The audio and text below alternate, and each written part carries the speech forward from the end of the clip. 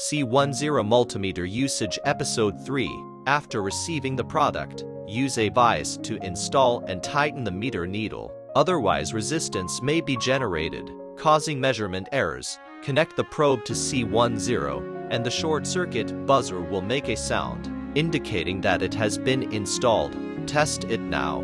This is the measurement result. 0.555 is the diode and 1.36 ks is the estimated resistance value. On the curve page, press the M3 key to start voltage measurement.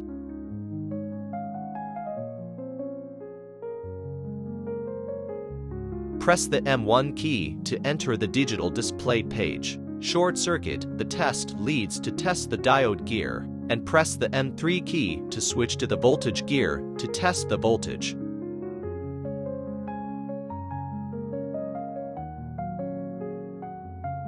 Press the M1 key to enter the pointer page. Short circuit, the test leads to test the diode gear, and press and hold the M2 key for 2 seconds to switch to the voltage gear to test the voltage.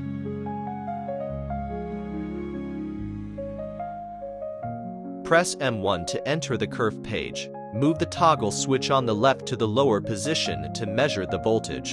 Note that this method can only test positive voltage, cannot test the negative voltage. On any page, short-circuiting the test leads will automatically jump to the multimeter function page.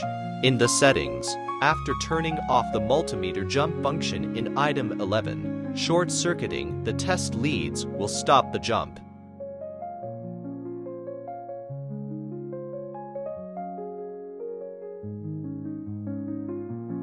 In the fourth item of the menu page, the multimeter APP can record test data.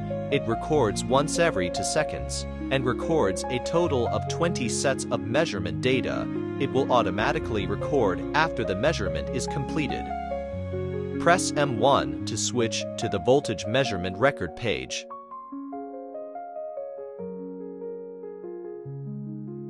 Press M3 to enter the waveform page to measure the jump voltage and waveform.